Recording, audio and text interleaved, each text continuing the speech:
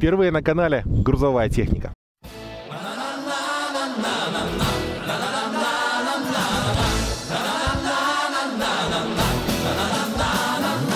День добрий, панове, вітаю, шановне господарство. У нас сегодня будет Садко Next. Э, я очень неровно дышу грузовикам, тем более э, к той части грузовой техники, которая ездит по сложной пересеченной местности. Э, мне кажется, даже все, кто так или иначе э, увлекался оффроудом, как-то касался этой темы, неровно дышит в сторону той же Шишиги, Пицгаура, Унимога и прочей такой уникальной проходимой техники, которая на самом деле существует, наверное, у каждой армии мира, у каждой страны есть что-то свое, очень интересное, очень здоровское и классное. И сегодня у нас такой вот интересный момент. У нас сегодня Садко э, Next. Это, по сути, э, реинкарнация Шишиги. Современная Шишига 2020, я ее так называю. Э, у нас сегодня практически тот же самый автомобиль, который легендарный был когда-то. На него нахлобучили новую кабину. На него, э, поставили ЯМЗшный нормальный дизель. Причем даже не минский этот э, э, тракторный D40, э, какой там 45, а именно нормальный ЯМЗшный дизельный грузовой мотор. Что там осталось от настоящей шишиги, это рама, мосты, раздатка. У нас есть блокировки, у нас есть подкачка автоматическая, у нас есть на раздатке тот дополнительный вал отбора мощности для механической лебедки. В данной комплектации механической лебедки нету, тем не менее это та самая машина, которая это все умеет делать. А, мы с ней на карьере попробуем немножечко даже лично проехать. Я расскажу свои ощущения от этой техники. А, условия достаточно рафинированная. Все-таки это э, тест-драйв э, немножечко в рамках какой-то программы именно от э, представителя в Минске. Тем не менее, попробую проехаться за рулем и рассказать вам, как оно едет, насколько это интересный автомобиль.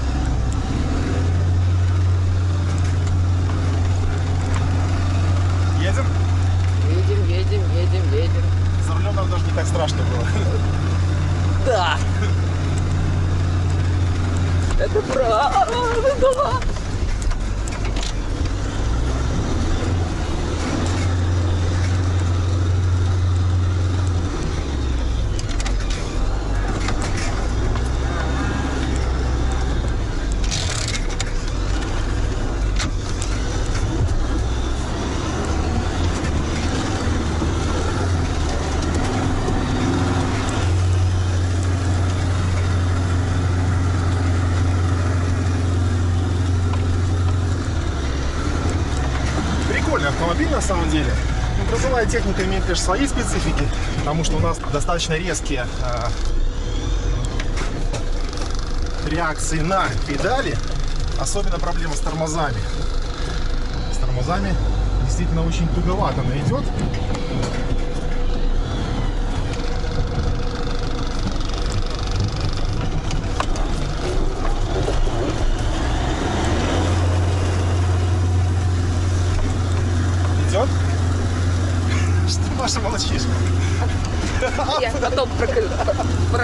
Отлично едет. На самом деле совершенно не страшно.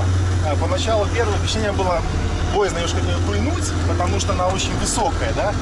Но э, после буквально пары метров препятствий понимаешь, что действительно шишига. И понижение, ну это грузовик, понижение действительно бомбическое. То есть тяги у него очень много, и это чувствуется. Она может реально она может все.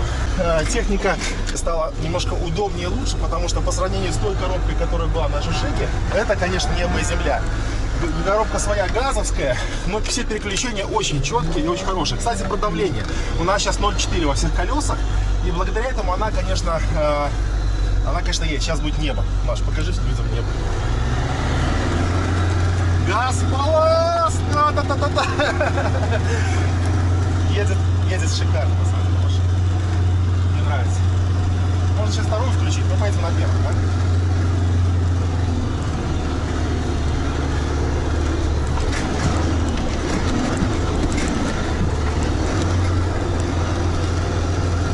Ты как на тракторе ездила? Э, на самодельном. Очень похоже ощущение. Да.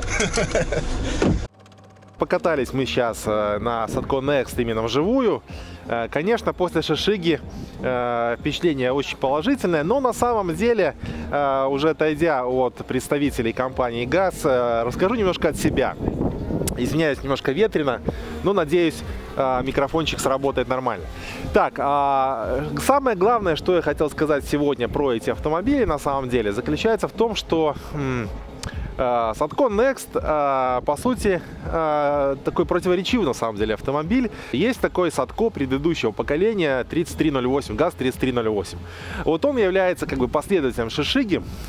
И, честно говоря, э, потому что было с ним, можно сказать, что э, на самом деле проходимость относительно Шишиги у всех последующих изделий ГАЗ ухудшилась, ребята. То есть, если сегодня берут машину э, в, плане какого-то там с кунгом, типа вахтовки такой, ездить по какой-то газоразведке, вести именно поддержку э, рабочего персонала в очень труднодоступной местности, то на самом деле все давно уже переш- перешли на э, технику более крупную, более серьезную. Потому что относительно Шишиги э, самое главное, что изменилось в газоне э, 3308, э, это то, что развесовка стала значительно хуже. То есть преимущество Шишиги, принципиальное и гениальная проходимость Шишиги была в том, что развесовочка попадала идеально-идеально 50 на 50. И достигалось это за счет откидной кабины. Э, Мотор был смещен далеко назад, сидел в базе. Конечно, при этом э, переключение передач было крайне специфичным, крайне неудобным, но э, э, проходимость развесовка все компенсировала. В той машине, как правильно говорят э, представители маркетинг, мар- маркетологи компании ГАЗ, сошли звезды. Но это были не звезды, а это был э, очень хороший, глубокий инженерный подход и проработка. Э, Благодаря всему этому машина и получилась гениально проходимой. Что осталось в 3308? Это то, что осталась практически та же рама, почти без, ну, немножко измененная, но почти, по сути, та же рама, мосты и раздатка. А, Что стало лучше, стали хорошие, появились хорошие моторы. То есть появились ZMZ моторы, и AMZ моторы. Вот. И это же, что если говорить про э, именно Next, по сути, это тот же 3308, просто с новой кабиной. Функционального изменилась только одна вещь, две. Две вещи появилась новая в Next. Это переключение сервоприводы на раздатке, то есть ушел этот рычаг. Появилось, появилось именно электронное переключение режимов работы раздаточной коробки и а, в салон приехала подкачка. То есть э, индикация на приборке давления по осям, э, там два давления, передняя ось, задняя ось. И, э, собственно, подкачка из салона, спускать, накачивать. Все. Больше принципиально от 3308 ничего не изменилось. Развесовка не изменилась. Клиренс не изменился. Мосты остались те же. Единственный вопрос по тому, какие там блокировки. Вроде как утверждают, что от Шишиги мосты почти без изменений самоблоком все как положено. Но здесь я не уверен и точной информации у меня нету. Коробка, конечно, даже с 3308 было значительный рывок вперед относительно Шишиги именно в удобстве приключения коробки передач. Ну что сказать по итогам? Ну, на самом деле, машина оставила двойственное впечатление. Да, это вау, это карьер, это впечатление от, боль- от большой техники, средней техники, но грузовой. Вот. Но, тем не менее, если подойти это с трезвым умом, как говорится, то э, до Шишиги, конечно, все-таки еще далековато. Стало лучше, стало удобнее, но функционально и в плане проходимости чудес нет. Развесовка все равно капот, все равно компоновка не та, развесовка не ездит оно так же, как ехала Шишига, просто не едет. Ну а на и все. До новых встреч, до побачення.